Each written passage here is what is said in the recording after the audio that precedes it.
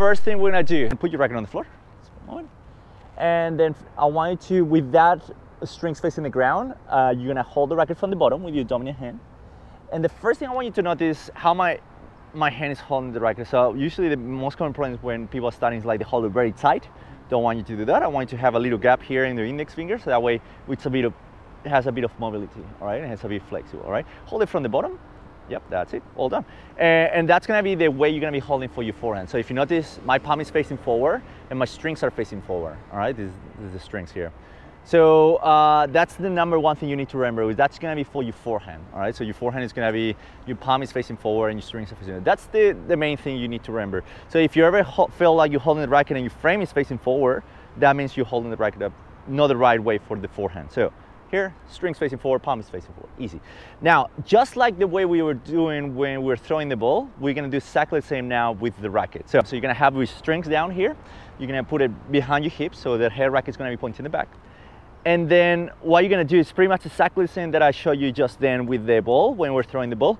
It's gonna be turning your hips and then getting your arm forward, okay? Now, the number one thing I want you to remember is gonna be where your strings are facing is, is that's where the ball's gonna go. So where your strings are facing is where the ball is gonna go. So by the time you hit the ball, right now our target is gonna be to hit the ball inside that square.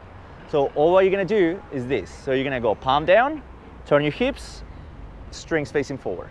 All right, see how the straight parallel, that vertical here, like there was a mirror and they're facing the other side. So I'm gonna, and I'll, I'll drop the ball for you. So you're gonna go palm down, I'll drop the ball for you, you turn your hips and have you strings facing the other side. And that's it. For now, we're gonna start with that. All right, ready? So your job is not to give a lot of power to the ball, but just to make the ball land right there. Let's go. There we go, nice one. Good job, palm down. Good. Oh, relax on your foot at the start. Yeah, so that's it. You only lift it once you turn. All right, so no, otherwise you still wait for that, it's gonna be getting tired. You, your foot's gonna get tired there. Nice, good job. See if you can turn it as well. So good lifting it, perfect, that's it. So not just lifting it, but also turning it. Right? So that way you can get your hips forward. Yes, well done, good job.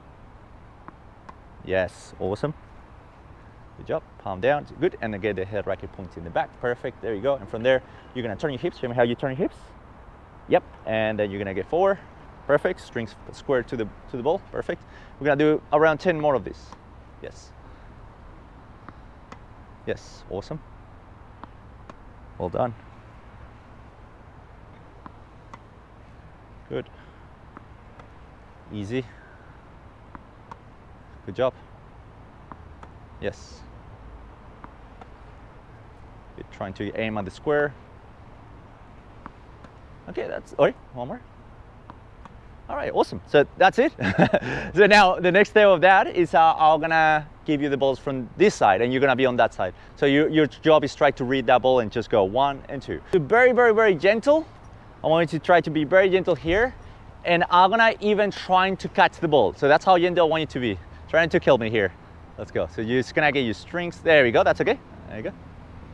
Yeah, yeah, okay. Calm down, there, there, good. Good, that's okay. So if you see the ball go, yeah, yeah, if you, if you see the ball goes a bit too high, then that's because your palm is too high. So maybe you go from palm down to palm forward. Because like, like I said remember before, I say if your palm is here, if your palm is up, by the time you move your body forward and you, and you get your racket forward, your palm is gonna face in the sky. So that's what's happening now. So try to keep forcing your palm having down at the start especially, all right? So really having that, that palm at the start. There, good job. Yeah, that's good, that's good. All right, and, and you don't need to tweak, you don't need to switch the way your hand is facing. So if you notice, what I'm doing here, my palm is down. I'm not really moving my palm up, I'm just going there, and my palm ultimately, when I have my hand in front, my arm in front, that's gonna get up, all right? So I don't have to force it to go up. So you start with your palm down, by the time you go there, your palm should be forward. That's it. Ready? Yeah, that's good, I like that, good control. Wait for the bounce, that's awesome, well done. And again, well done, awesome. Yes, awesome, well done. Keep going. Really good. Good. Great job. Now, the next thing I want you to do is I want you to start experimenting with that idea that I say about try not to stop and try to give me just maybe five centimeters when after you hit the ball, your hand keeps going to the same direction. All right? So, so I'll do one example. So palm down. I, even though I'm hitting the ball here, I'm not stopping there. My hand is gonna keep going forward. That's it. So not, not to the side yet, but I'm gonna go from here, I go there, and my hand keeps going. You see how my hand keeps going a little bit? So that's that I want you to try to do. All right, palm down. Yeah, that's good. Awesome job. Well done. Yes, that's okay.